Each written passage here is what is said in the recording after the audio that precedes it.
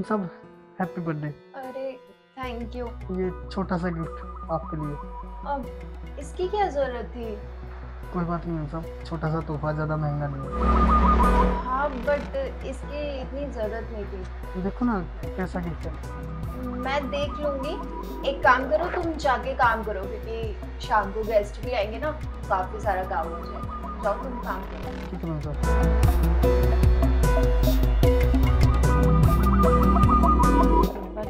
देखो तो सही।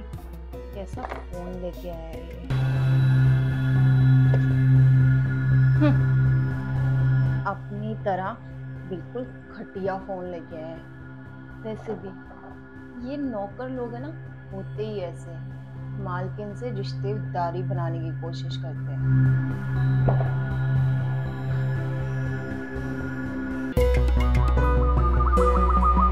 मैम साहब कैसा लगा गिफ्ट?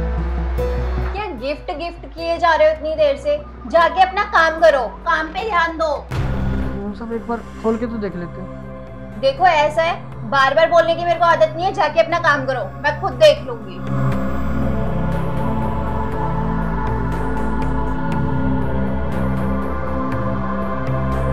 गिफ्ट के पीछे पड़ा हुआ है। इसकी असली जगह यहाँ नहीं इसकी असली जगह कहीं और ही है। अभी तक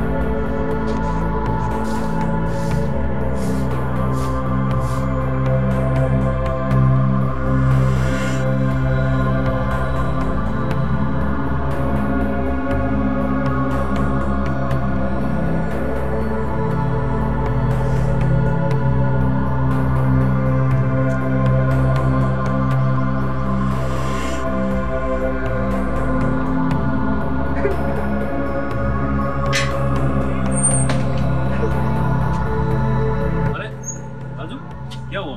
रो क्यों रहे हो? कुछ नहीं अरे तो रो क्यों रहे हो? सब ठीक है ना घर पे? हाँ। एक एक रुपया इकट्ठा करके ना उनके लिए गिफ्ट लेके आया था। उन्होंने डस्टबिन में डाल दिया।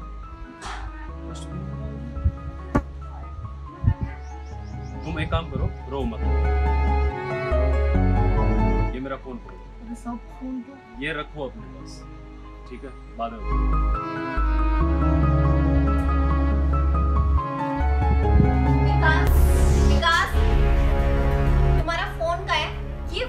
राजू के पास क्या कर रहा है?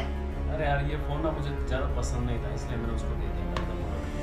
तुम्हें पता है ना मैंने कितनी मुश्किल से ये फ़ोन लेके आई थी तुम्हारे लिए। और एक एक पैसा जोड़ के तुम्हारे बर्थडे पे गिफ्ट किया था। और तुमने क्या किया? उस दो बॉडी के नौकर को दे दिया ये। अरे कम से कम नहीं था पसंद तो किसी कोने में रख देते। ज़रूरी था उसको देना। अच्छा एक बात बताओ आज तुम्हारा बर्थडे है ना? हाँ तुम्हें भी किसी ने फ़ोन गिफ्ट किया था? याद आया कुछ? राजू ने और तुमने क्या किया? उसको डस्टबिन में डाल दिया। अरे कम से कम तुम्हें नहीं पसंद था तो अलमारी में रख देती, बेड में रख देती। नहीं यूज़ करना था, कोई बात नहीं। और तुमने तुमने उसके इमोशन के साथ खिलवाड़ किया। तुम्हें नहीं पसंद था, मत यूज़ करते उसको। पर एटलीस्ट डस्टबिन में तुम्हें डालती ना यार उसको। अच्छा लगता है क्या ऐसे? अब तुम्हें कैसा लग रहा है जब मैंने तुम्हारा फ़ोन उसको दिया? बुरा लग रहा है ना ऐसा ही बुरा उसे लग रहा था वो रो रहा था तो तुम्हें सबक सिखाने के लिए मैंने उसको सॉरी विकास मैं आगे से कभी ऐसा कुछ नहीं करूँगी। और मैं अभी डस्टबिन में से जाके फ़ोन लेके आती हूँ। एक मिनट।